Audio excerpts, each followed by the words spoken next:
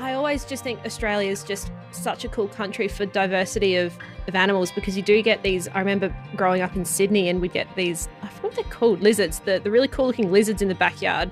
At the same time, you've got the birds and the snakes and the insects. And then the platypus, I, I totally forgot that something like the platypus even existed. And they're a weird kind of animal, though, aren't they? They're egg laying Yeah. mammals. Yeah. Oh, yeah. Yeah, exactly, exactly. I think you know when the first, when the British came to Australia and sent us samples of these platypus back to England, nobody believed that it was real.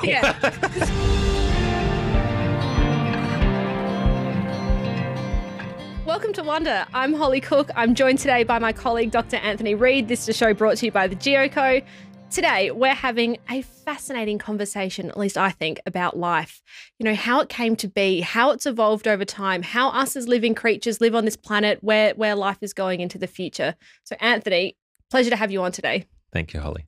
Anthony, we spend a lot of time in rocks.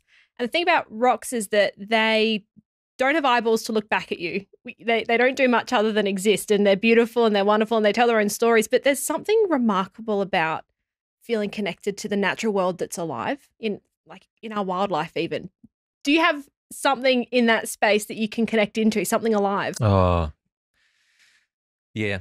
I mean, I've been thinking about our travels through Tasmania, actually, and in particular the western part of Tasmania, in an area called the Tarkine. And of course, you know, Tasmania is an unbelievably rich natural environment. Um, because in largely because of the high rainfall there, which enables lots of species to grow and trees and whatever. But I was just thinking, you know, in terms of connection, it's it's it's an amazing thing to see a rare or even an endangered species in the wild. And my I had this great time with our family. You know, we we were down there on a camping trip, and there's this little river which goes into what this other larger river called the Pieman River, and there's a little river which is a tributary to the Pieman. And near where this campsite was, you could you could take a half an hour or maybe an hour walk uh, into the forest through the forest. It's, and it's getting dark. It's late because you're looking for platypus. A platypus, Ah. right? So uh, platypus is one of those things where everybody's heard of a platypus, and Yeah. of course, you know they are this strange combination. yeah, they're such cool animals. Aren't yeah. they amazing, right? And so, but they're not easy to see. They're pretty Mm. rare, right? You don't, you don't see them. So anyway, we, we made it out to this place just before, well, well, just I guess in the late afternoon because they come out. They obviously sleep during the day. They come out in the late afternoon and they start kind of, you know, making their way through the water and. And they're an amazing thing because you first you just see little ripple marks on the surface of the water, and you think, "Oh, what's that?" And of course, you're saying, "Kids, kids, look, look, look!" of course, they disappeared by that Yeah, time, right? yeah. But but it's this sort of thing, and then eventually, yeah, it did. It swam. It, it sort of swam, made its way closer to us, and I.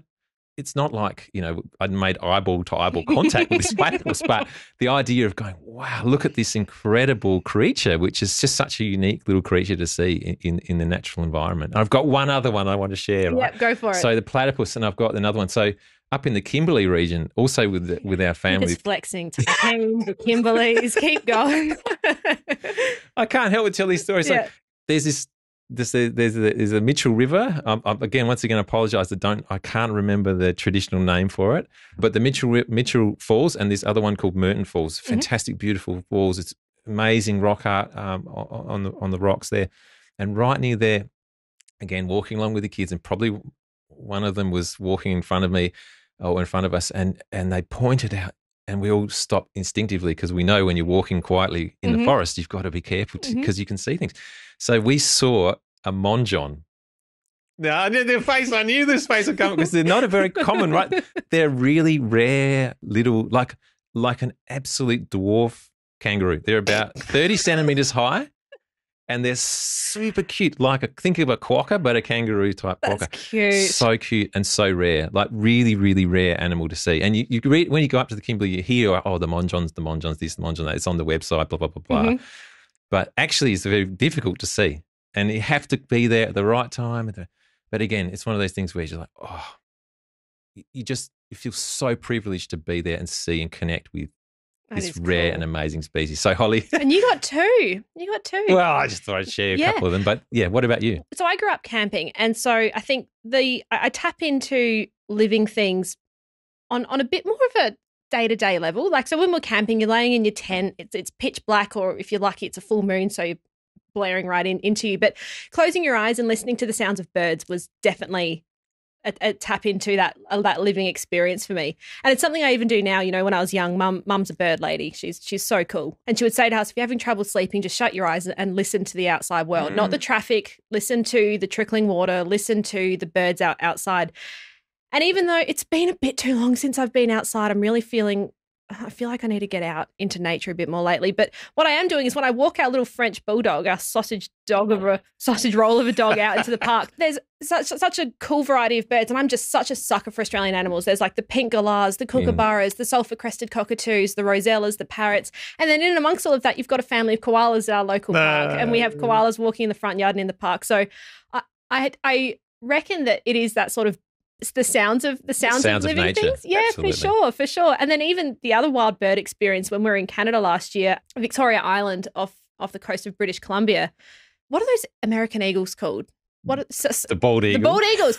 We, we were we were going through the Johnstone Strait, and there was about there was hundreds on hundreds and hundreds of. And I'd never seen one, right? And there were hundreds of them flying about. And it was something about the fish in the water that mm. got filled with gas, and they come to the top, and natural yeah. like just normal bodily functions of the fish.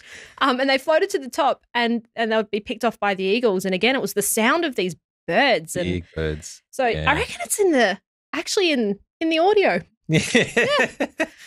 and how's the diversity? I mean, that's the thing with all those. So you're talking about birds. I, I can think of plenty of great bird experiences that we've had as well you know, but then we talked about marsupials and there's different types of marsupials. Mm. And then, but on top of that, you've got all the other different mammals and, and whatever, or the reptiles, so many different mm. reptiles, all of these different, you know, so many different creatures living in different yeah. ecosystems. The spiders.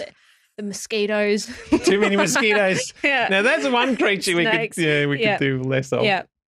Yeah, no, heaps. And I always just think Australia is just such a cool country for diversity of of animals because you do get these. I remember growing up in Sydney and we'd get these, I forgot what they're called, lizards, the, the really cool looking lizards in the backyard. At the same time, you've got the birds and the snakes and the insects. And then the platypus, I, I totally forgot that something like the platypus even existed. And they're a weird kind of animal, though, aren't they? Mm, they're egg laying yeah. mammals. Yeah. Oh, yeah. Yeah, exactly. Exactly. I think, you know, when the first, when the British came to Australia and sent samples of these platypus back to England, nobody believed that it was real. they were looking for stitching between the duck bill and the rest of the bird, uh, yeah. so the rest of the animals, saying, oh, "This this must be fake, right?" Mm but all of that so all of that that diversity in, and australia is like this sort of you know is quite a unique continent in that way because of all these uh, these mammals and and the you know the unique sort of uh, uh, the unique types of mammals which are here. And the marsupial mammals and that and that's different to some of the other continents which have the, the more of the placental mammals right? And and so that and it's not a coincidence. It's not a coincidence and that it's in actually it, it stems way back in time to geography uh, and to geology. There's a big, there's a really big connection between the the kind of life in on various continents and islands, mm. and how those continents of islands and islands have grown and shifted and changed through long, deep time. You know, deep time cycles of supercontinent uh, breakup and and mm. and and dispersal. It's amazing stuff. So New Zealand is another example of that I've been thinking of, you know, where there are the um, Nothofagus trees. You know, these are these these deciduous Nothofagus, um, which you can find in New Zealand. You actually find them in Tasmania as well. And in South America, this is this Gondwana, ancient Gondwana oh. fauna, right? Uh, flora, right? Yeah. So this idea that supercontinents, uh, you know, back in the day, as in you know, a couple of hundred million years ago. the other week. yeah, yeah. A few hundred million years ago when Gondwana was a thing, and it gradually rifted and broke apart. And you can now find pieces of that of that remnant flora scattered through southern continents. It's so, amazing stuff. So piecing together continents using using leaves, using trees, using vegetation. It's a thing. Oh, it's a thing. Yeah. Fossils. Wild. Yeah. I um while we're blending geology and animals, I feel like I've read something about how when Krakatoa went off in the 1800s, like this is an immense volcanic mm, explosion, huge. um, and naturally destroyed life on the island. And so sort of there's records of how life eventually came back, and it, and there was an order to it. At first, it was you know, life came back in a manner that, at, as the island sort of naturally recovered, certain life was suited to different stages of that recovery. Definitely. And it was entirely different life than what was on there before. And that that's a very strange thing is, you know, ac- it migrated across life migrated across the ocean onto this sort of destroyed island and it didn't didn't look the same as it, It did before the, the volcanic eruption. It's also hard to imagine just how diverse these things are, and and, and uh, for me, a really important thing or concept to to talk about is is evolution, right? How how how is it possible for such a diversity of species to exist? Why isn't it just a monoculture? Do you know what what what what are the key things that you know that that that what you know when you think of evolution? What do you think of? oh, it's not an exam. I know, I know. I'm thinking, what's the most honest answer I can give to that?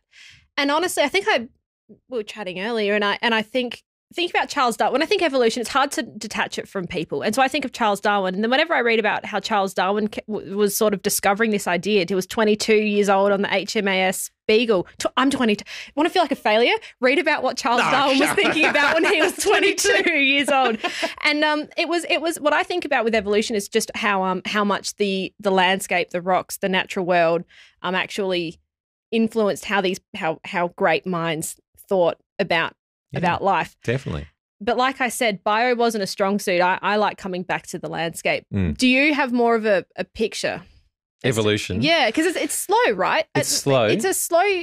Well, there's different ideas, okay? Yeah. So it can happen quickly. Like then the, the classic example of rapid evolution is Darwin's finches, which are on the Galapagos Islands. So Darwin went over to South America on his round the world journey in the Beagle and he went to the Galapagos Islands. Now the Galapagos are volcanic islands. I think they're only 10 million years old or something. They're quite Young. relatively young geologically.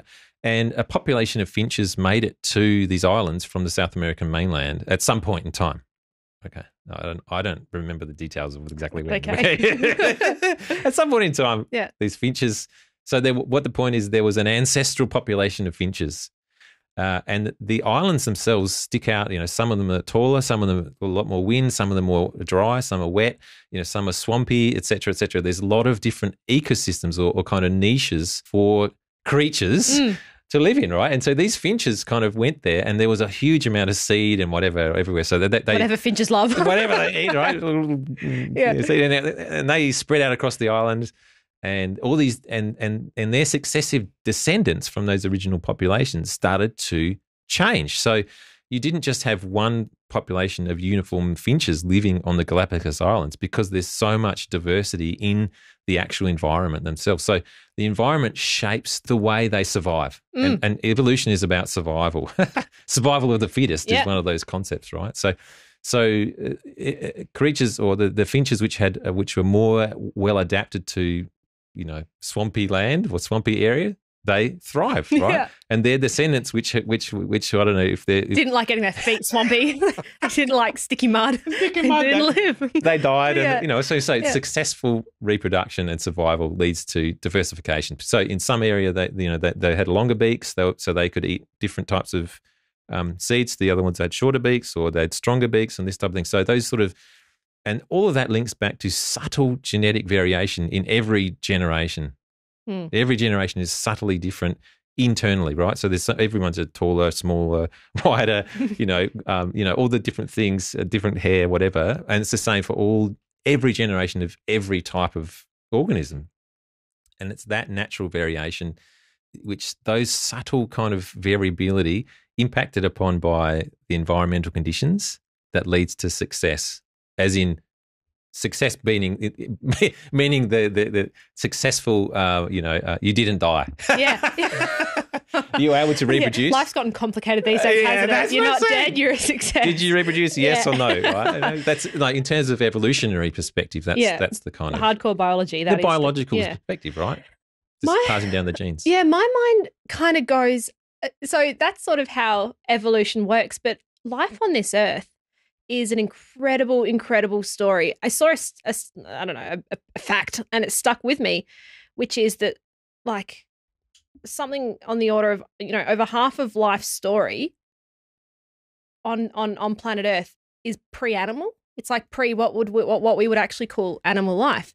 And I remember going to the Flinders and the Ediacara fauna and blah blah, like beautiful animal first animal fossils, and it, that was a profound experience for me Mm. seeing life in the record. But then you learn that that is really quite recent. Like complex animal multicellular life is the recent stuff. F- evidence for first life on the Just planet. such a geological statement. Tho- Those rocks are 600 million years old. this is just such a typical geological. We just yeah.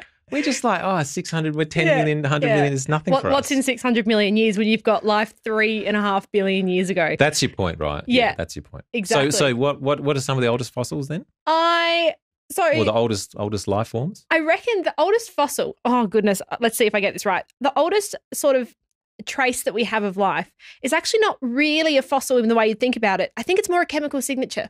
And so I, I read that in the uh, southwestern coast of Greenland. Oh my god, what I do to get to Greenland is are some sedimentary rocks. There's a mineral called apatite in there, and in that apatite is locked just a touch of carbon. Uh, and the way that carbon presents is in nature is there's different isotopes, so different number of neutrons, and they exist in ratios. And the the key signal of life has been here is when it's a high carbon 13 ratio. There's a ratio change. There's right? a ratio Exactly, change. yeah. And so they found this rock from Greenland, 3.9 billion years Wow. old. And there is a signature in that carbon that can only come about if life has been there. So Life we has processed that carbon in some way. Yeah. exactly, and that's not that's not a, a, a shell fossil. That's not an imprint on a rock. That's just really zooming in into some carbon locked in an apatite, locked in a sedimentary rock, probably on some rugged coast in Greenland. Well, you would be impressed by the actual fossil record of some of those ancient. Uh, the next sort of step, right, when you actually see Once you actually see something, so, so the classic example is stromatolites. love right? stromatolites. So- F- f- that's basically a stromatolite is like you have a, a mat of bacteria, right? Slightly algae bacteria, and then a little bit of sediment collects in that mat, and and then a new mat of bacteria forms on top of that sediment, uh, on top of that, Yeah. and so on. So you get layer after layer of tiny little layers of of bag, uh, the, Yeah. the detritus collected by algae and Yeah. bacteria. That's so underwhelming. oh my god! So the now silt collected by bacteria on a carpet mat. so boring. I we had the- also, can I just ask Yeah. the, the modern analog for which this bacteria, we like to call it blue green algae. And I'd like anyone listening to know that I have dressed up especially today in honor of the blue green algae, for which we understand stromatolites. Um, anyway, I had to get it off my chest. Holly the blue green. Holly the blue green Blue algae. green Holly. Yeah, pretty much. So the the uh, stromatolites are a- a- incredibly important. They talk about that chemical signature. So stromatolites are a much more visual signature, visual fossil of of these of these algae and bacteria, ancient bacteria. But they are they are exciting for geologists, but not so exciting for non-geologists. I found Mm. out. So I went. So on that trip, I was talking about the Kimberley. We also went to the Pilbara. And we got out the guide, geological guidebook, and we had the GPS, and we're following our way through some back country in the in the Pilbara, looking for these classic fossils, right? And they and and uh, they, I think they are three point two or three point four billion years old. Yeah. like super old, Like 3,400 million years. Like super old. Now I might have got that wrong, but it's it's somewhere between let's just say three and three point five billion. It's super old. When, it's okay. Crazy oh, old. for the for the for the nitpickers out there, right? yeah. But and I remember walking up this little hill and it's all spinifex covered, so of course you get Getting bush bashed. yeah, no. And I'm like, there it is, kids. It's just like, oh, and, Oh, you and- had kids. That would have been honest. Dad, why are we here? Get humbled. it was super humbling. Yeah. I was so excited. These are the oldest record of life, physical evidence for life on the planet. The ones you actually of the- went to? The ones we went to, the some of the oldest, if not the oldest, I think some they of are. the I think oldest. Yeah. Yeah, I think they are. Yeah, so I was just super excited, but Oh. of course, you know, yeah. So to understand these things, you have to think in deep time.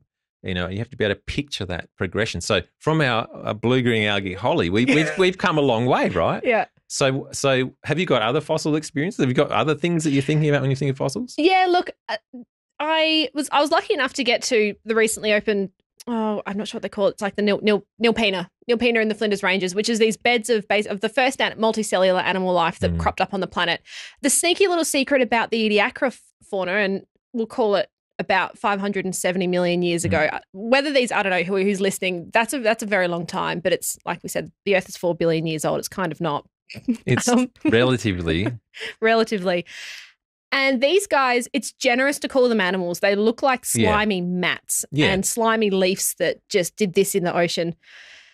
And then they sort of died and then they sort of disappeared. And we had what we called the Cambrian explosion, which is really where the, the first recognizable animals cropped up. And that was about, what, 500 million years Yeah. ago? Whatever. Who Something cares? like that. Um, so that's my fossil experience, and and like I said, I before I, I didn't quite appreciate how ridiculous it is to see the imprints of the only life that we know to exist in the universe, and I'm sort of awkwardly shuffling along. It's I'm walking over it with my hiking boots, and Yeah, yeah. and it's and it's crazy. And I, I often think back to when we talk about time. You know, the the universe is what called 13 billion years old, and that feels really really old until you start understanding. You know, life on Earth has been around for three billion years of that. Um, and so you know the same elements that we have that we had forged in the Big Bang that were that are forged in the guts of stars when they when they explode came together somehow on this Earth first to create this ugh, underwhelming blue green algae mats but eventually it it it absolutely exploded into you know sentient creatures Yeah. it's it's ridiculous It's incredible, yeah. And the impact that, that these blue green algae had on the world as well. Like the Earth, you know, back in the day when we're talking those three billion years ago, we couldn't have survived no in the atmosphere. was oxygen was talk to me about oxygen, Oxygen. back then well Yeah. that's kind of requisite for being human these days needing oxygen Yeah, that, Yeah. I think we can agree on that. Yeah. Yeah. yeah, Some things some people can't agree on, but that one I think we should all be able to agree on. So yeah, definitely back in back in those days, um, you know, three billion years ago, there was much less oxygen. I, I'm sorry, I can't remember the numbers, but anyway, Oh, who cares about numbers? A lot less oxygen, un- unbreathable, right? Yeah.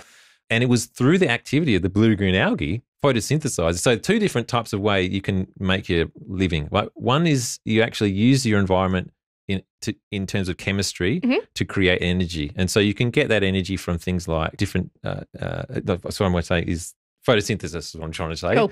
So you get the energy from light, or you can get it from chemical reactions. Right. Another way to make your living is by eating something else. so there's these two basic ways of living, right? If you can just ingest something else and steal all their energy, then right. So that awesome vitamin D awesome sunlight That's right. Yeah. so you got your two. So that's that that little divergence there in in way of uh, in kind of generating energy is where you have plants and animals, Mm. basically. Mm. Like, you know, this is obviously a bit more complicated than that. But anyway, the plants, what we, equivalent of plants who were photosynthesizing, the waste product of photosynthesis is oxygen. It, it's it's it's the waste product, right? Hmm. Does this mean that the cyanobacteria, the blue green algae, were actually killing themselves off by creating oxygen? Well, they they they actually yeah they did in a sense they reduced their habitable niche because everywhere else became full of oxygen, so they had to migrate and retreat to areas which are really oxygen poor. Which is where you find them today. Anyway, so there's this kind of progressive increase in oxygen in the in the in the atmosphere, so much so that by about 2.5 billion years, you the oceans effectively rusted, and all of the dissolved iron which was in the ocean at the time precipitated out, and that's how you get what these these things which we call iron formations, where all this steel that we drive around our cars and our fridges and all this stuff is made from steel, which was the rusting of the ocean about 2.5 billion years ago, and the Pilbara is full of that. They're the iron formations of the Pilbara, right? That so is so biology fantastic. and geology are super connected in that way. The the formation of the the Earth's um, oxygen is super connected to that. That's just fantastic. So the the first breath, the first sort of big gasp of air that living creatures took on this planet changed the changed sort of the chemistry of the environment such that a bunch of iron fell out of the ocean. Bunch of iron fell out of the ocean, deposited as rock, and we now we now use it to build our modern society two and a half billion years Yeah, later. yeah. Oh, blue green holly just got so much cooler. and I I something that I've got a little bone to pick, I think. And when as I was growing up, I loved the analogy of, you know, the earth is so old that if you if you got it down, if you broke it up into a 24-hour day or, you know, and sunrise was when I don't know, four billion years ago when the earth, four and a half billion years ago when the earth first came about, you know, humankind only came up in the last flash of like in the last flash before sunset. That's Mhm. how young we are. And that makes that gives off the impression that there's nothing after sunset, that there's nothing after after nighttime. But human that is just so not true. We are part of an active system.